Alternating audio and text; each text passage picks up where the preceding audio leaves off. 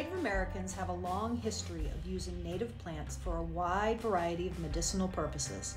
Let's take a walk and learn about three of the native plants that the Musqueamskek tribe used. Take a look at these rose hips. They were an important source for all native tribes. Wherever roses were found, they are super high in vitamin C, much more so than oranges. A pale pink tea can be made from them, quite acidic, but not as sharp as lemon juice. The brewed berries were not thrown away. They were used in soups and stews.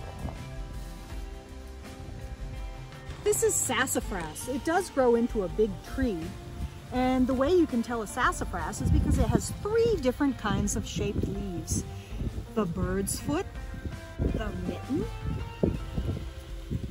and I like to call this one the egg. Early explorers and settlers in the New World were told by the Indians that sassafras was a cure-all, and it was eagerly sought out and shipped to Europe. A tea made of the roots was used to reduce fever and induce initial appearance of the red rash of measles.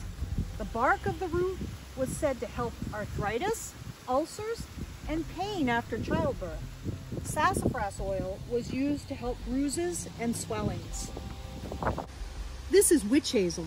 Native Americans used the boiled bark and leaves to treat bleeding and inflammation. An extract of the leaves, twigs, and bark is used in mild astringent lotions. Also known as the devil plant, it was so named because it was said to be under a witch's spell, because its flowers in the fall instead of the spring.